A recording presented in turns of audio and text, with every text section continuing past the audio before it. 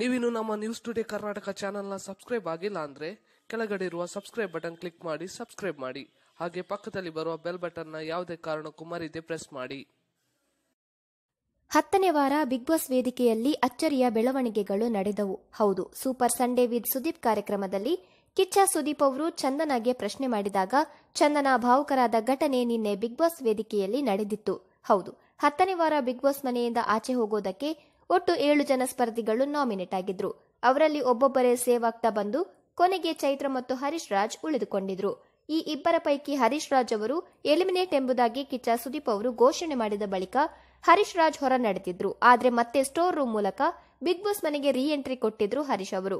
ಆದ್ರೆ ಇದು ಸ್ಪರ್ಧಿಗಳಿಗೆ big boss ಕೊಟ್ಟ ಸಣ್ಣ ಚಮಕ್ ಈ ವಾರ ಎಲಿಮಿನೇಷನ್ ನಡೆಯಲ್ಲ ಎಂಬುದಾಗಿ ಕಿಚ್ಚ ಸುದೀಪ್ ಅವರು ಹೇಳಿದ್ರು. ಆದ್ರೆ ಇವೆಲ್ಲಕ್ಕೂ ಮುನ್ನ ಚಂದನಾಗೆ ಪ್ರಶ್ನೆ ಮಾಡಿದ ಕಿಚ್ಚ ಸುದೀಪ್ ಅವರು ಚಂದನ ಅವರೇ, ನಿಮಗೆ ಬೇಜಾರು ಅನ್ನೋದು ಬರೀ ಟಾಸ್ಕ್ಗೆ ಸಂಬಂಧಪಟ್ಟಿದ್ದ ಅಥವಾ ಬೇರೆ ಏನಾದರೂ ಪ್ರಾಬ್ಲಮ್ ಇದೆಯಾ?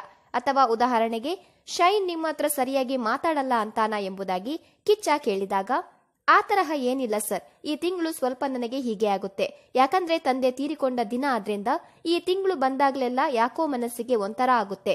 ಪ್ರತಿ ವರ್ಷ ಕೂಡ ಹೀಗೆ ಆಗುತ್ತೆ. ಈ ಬಗ್ಗೆ ಯೋಚನೆ ಮಾಡಬಾರ್ದು ಅಂತ ಅಂದುಕೊಂಡ್ರು ನೆನಪಾಗುತ್ತೆ. ಹಾಗಾಗಿ ಯಾವುದೇ ಸಣ್ಣ ವಿಷಯನೂ ದೊಡ್ಡದಾಗಿ ಕಾಣಿಸುತ್ತೆ ಅಂತ ತಂದೆಯನ್ನ ನೆನಪಿಸಿಕೊಂಡು ಭಾವುಕರಾಗ್ತಾರೆ ಚಂದನ. ಇದನ್ನ ನೋಡಿದ ವೀಕ್ಷಕರು ಕೂಡ ಚಂದನಾಗೆ ಪರ ವಿರೋಧ ಕಮೆಂಟ್ಗಳನ್ನ ಮಾಡಿ ತಮ್ಮ ಅಭಿಪ್ರಾಯ ವ್ಯಕ್ತಪಡಿಸಿದ್ದಾರೆ. ಕೆಲವರು ಡ್ರಾಮಾ ಅಂದ್ರೆ ಇನ್ನು ಅನೇಕರು ಬೇಜಾರಾಗಬೇಡಿ, ಈ ಸೀಸನ್ ವಿನ್ನರ್ ನೀವೇ ಅಂತಿದ್ದಾರೆ. ಈ ಬಗ್ಗೆ ನಿಮ್ಮ ಅನಿಸಿಕೆಯನ್ನ ಕಮೆಂಟ್ ಮಾಡಿ. ಹಾಗೆ ನ್ಯೂಸ್ ಟುಡೇ ಕರ್ನಾಟಕ ಚಾನೆಲ್ನ ಸಬ್ಸ್ಕ್ರೈಬ್ ಮಾಡೋದನ್ನ ಮರಿಬೇಡಿ.